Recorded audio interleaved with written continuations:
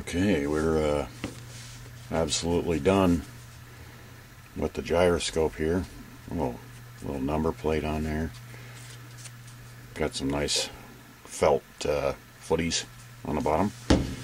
And give me a minute here. I got this wound and reloaded. See? Just so we can show you that it will indeed spin up on a string. Uh, around the top end of the taper, it's kind of like starting out in high gear, but here it goes.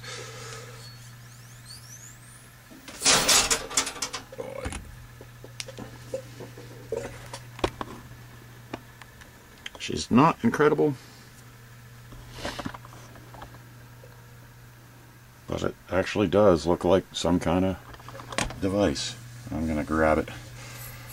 I think if I had a proper pull handle, which I do plan on making, uh, maybe tomorrow, hopefully. If I had a proper pull handle and a real string, possibly it would uh, spin out better. But yeah, there it is. The uh, gyroscope and the, the base are 100% done. And also I'll put this kind of prototype wheel in with it with the package. Um, I'll have a I'll have some sort of handle. I'm not sure what that'll be. A machine down bolt or a wooden piece of wood. I don't know exactly what it'll be yet. I'm not sure what I'm going to use for a string. Uh, but you know it'll it'll be there, and if you want it, I'll put the link to it because I am shameless.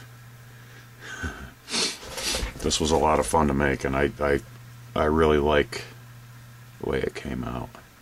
The uh, the number plate there is a spent 45 casing, and uh, I just I, I nailed it and cut it, flattened out, kind of shaped it on the belt sander,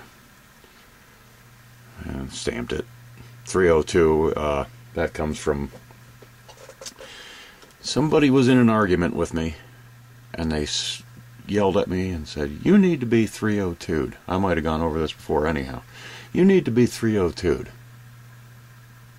And I was pretty sure I knew what it meant by the context, but I looked it up and 302 is code for when somebody's just batshit insane and they get sent to a mental institution. So I kind of took it and run with it, and now my page on Etsy is Project 302. And I also paint that number on everything on my bike, on my helmet, whatever.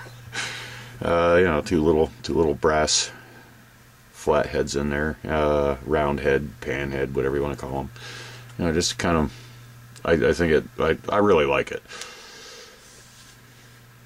I really like the way it came out. Nice little conversation piece, doodad to play around with. The wood itself has a lot of nice character. But, uh, anyways, I hope uh, I hope one of you guys might might like it enough to to spend a good penny on it.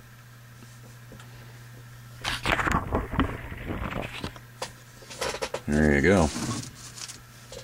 That's done. Later.